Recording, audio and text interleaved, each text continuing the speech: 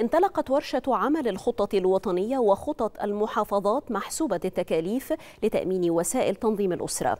تهدف الورشة إلى تزويد المانحين وشركاء التنمية وصناع القرار وممثلي القطاع الخاص برؤية شاملة عن الاستراتيجيات الوطنية لبرنامج تنظيم الأسرة في مصر.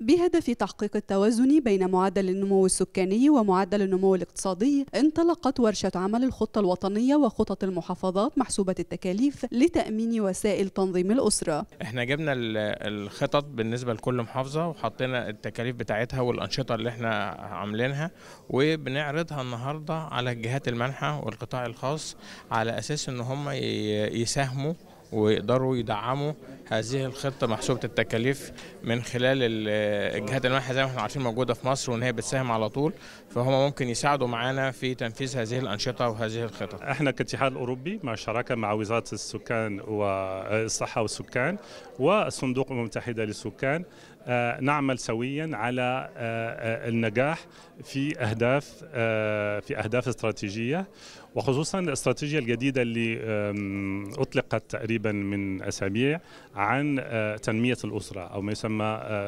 استراتيجية تنمية الأسرة والتي تدي دور مهم للمرأة. تهدف الورشة إلى تزويد المانحين وشركاء التنمية وصناع القرار وممثلي القطاع الخاص برؤية شاملة عن الاستراتيجيات الوطنية لبرنامج تنظيم الأسرة في مصر والإنجازات التي تم تحقيقها والأهداف التي يسعى البرنامج إلى ترجمتها بصورة واقعية في المستقبل. الهدف من الورشة إحنا عايزين نعرض خطة قومية محسوبه التكاليف لتأمين توافر الوسائل على مستوى الناشونال وعلى مستوى المحافظات.